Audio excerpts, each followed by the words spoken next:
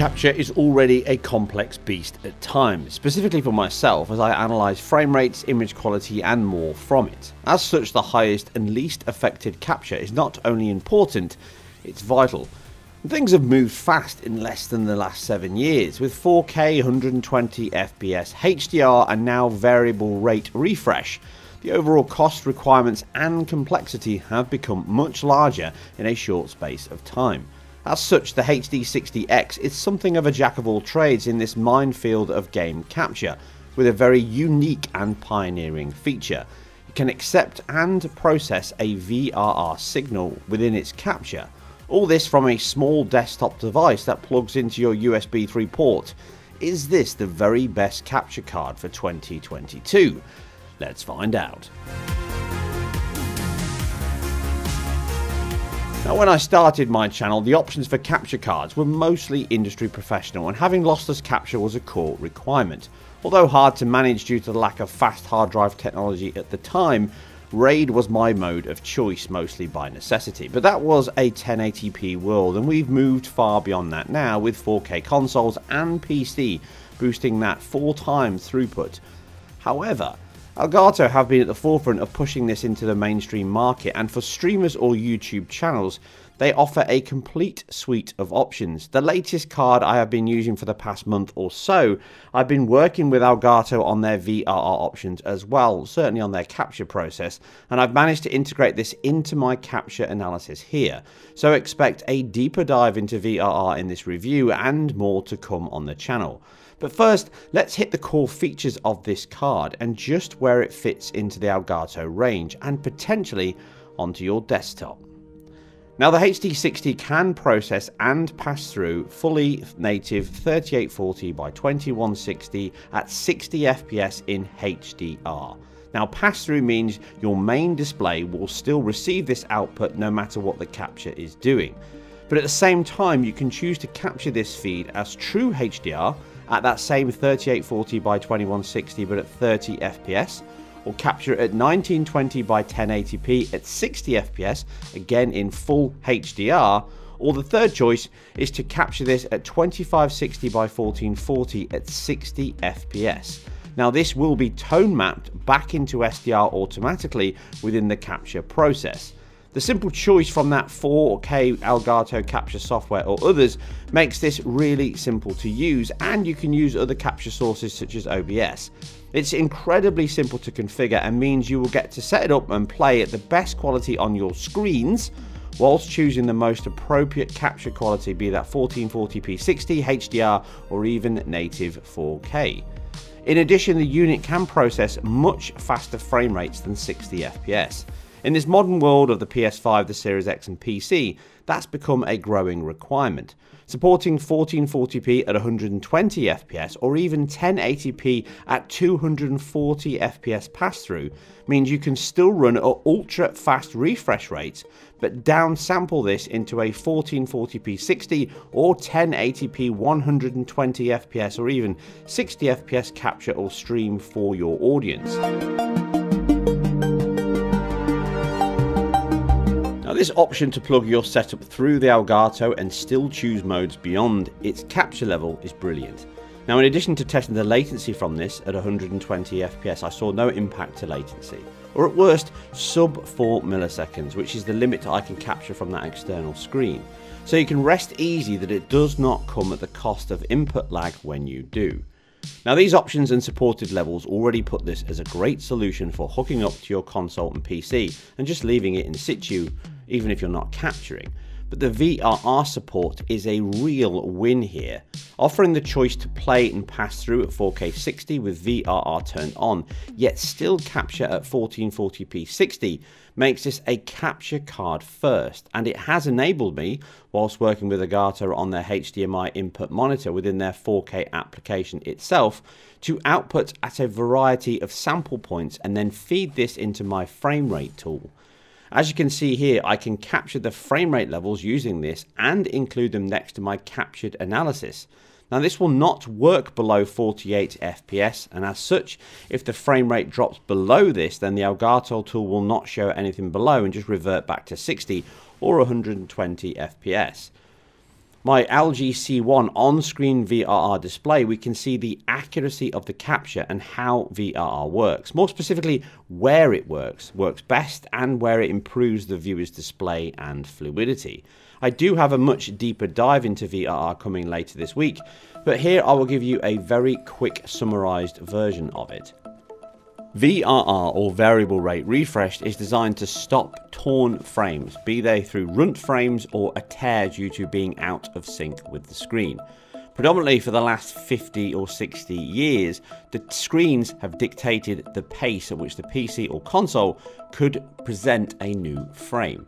This means that when it runs out of sync, you get a mixture of the old and new frames with torn frames, or you get a partially delivered frame, which is a runt frame, Ultimately, in the high level view of this, this presents as a torn frame in screen, which is the old frame and new frame merged together. You can see this red line of the screen example here. And this can then move down the screen or up the screen as the GPU tries to catch back up and get back into lockstep with the screen.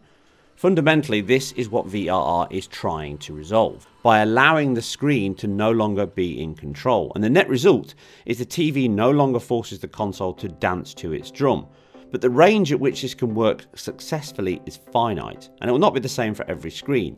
Some can support 144 to 240 Hz and they'll have a bigger window to play with, but the HD60X here operates in that perfect sweet spot between 48 Hz and 120 Hz. So that's 48 FPS and 120 FPS. This means you can benefit greatly from those games fluctuating anywhere between 8, 12.5 and 16 millisecond frame times, giving you 120, 80 or 60 FPS. And at 60 FPS, you can go anywhere between 16 milliseconds and 20 milliseconds, which again is 48 FPS and 60 FPS at the top end. For example, around the screens that support it, my uh, LG C1 here supports down to 40 Hz, which means it can drop as low as 25 milliseconds, or as high relatively, in terms of the times it can flip to the next frame.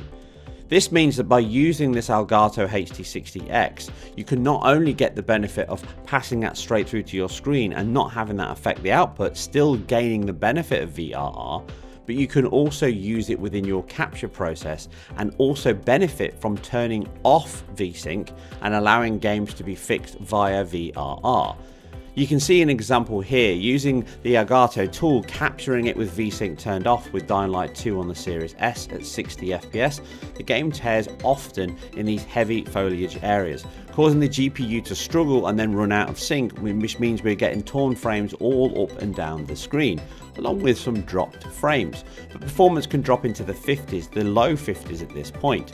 But if we flip over with VRR on, still capturing from the HD60X, we now see all of that artifacting and torn frames are completely removed, as the HD60 still presents you with that cleaned up image and removes those runt frames and torn frames, improving the image quality and maintaining that input latency. Again, by and large, which is a huge boost as you can now turn off VSync on your titles and within those defined ranges I've just discussed, play at the fastest, smoothest image on your screen and still present this to your viewers without the unsightly torn artifacts normally present.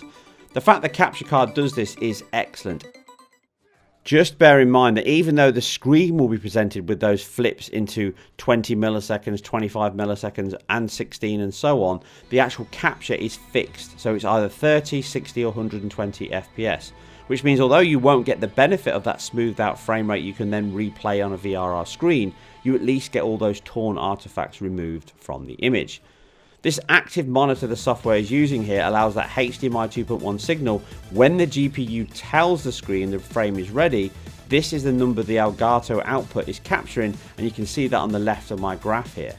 My software is just capturing the feed, the direct feed and calculating that out, that fixed frame rate that has been presented within the capture and as I've just explained, that means you can get slightly different sample points because the sample polling times and also the capture rate itself is subtly different between the HD60X capture software and my actual captured footage that I'm using within my frame rate tool. Now you can alter that software in terms of how often it captures from up to 1 millisecond right up to a thousand milliseconds which means once every second I set it here at 500 milliseconds just to line up with what my capture tool runs at, but I can change both of them quite easily and recently ran through it at 60 or 120 FPS capture, which would be 16 or 8 milliseconds. In short, this VRR inclusion is superb and very simple to use, meaning you can have the device hooked up and still enjoy all the modern benefits of VRR HDR high frame rates with no input latency, which is both seamless and efficient. And I'm sure that many gamers and streamers will want to add this to their setups, if not now, but for in the future for future proofing their options, and that may be much, much sooner than you think. But it's not only the capture options, the simplicity and the VRR inclusion are a huge benefit. It also offers excellent capture quality and that 1440p 60 rate, which is around 100 megabits per second capture with crisp details, you can present that clean and sharp gameplay image on YouTube or Twitch. And if the game only runs at 30 FPS, you can even capture and present it natively with HDR included or tone mapped back down if you're using a lower level. The quality here is very very good and certainly perfect for the majority of the market.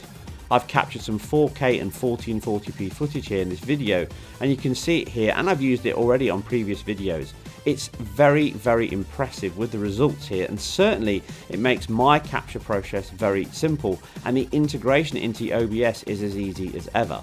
Of note is you will need that to capture 120 FPS as I say, the Elgato 4K tool is only capped at 60 FPS capture at the moment.